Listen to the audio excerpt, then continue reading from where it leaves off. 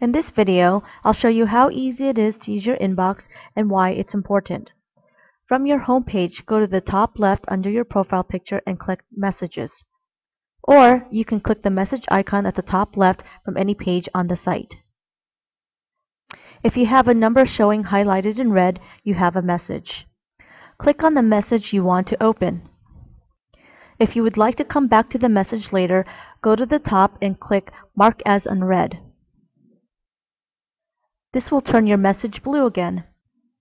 If you receive spam, you can go to the top and click Report Spam to report it.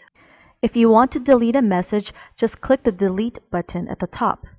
If you would like to forward a message to someone, just click the Forward button. Find the person you want to send a message to and add a message.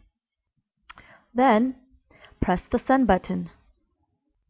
If you would like to mark several messages as unread, spam, or delete them all at once, use the box to the left of the messages and mark the boxes you would like to delete, mark as in red or mark as spam.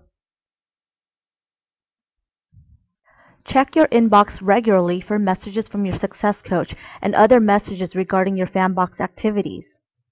Now you know how easy it is to use your inbox.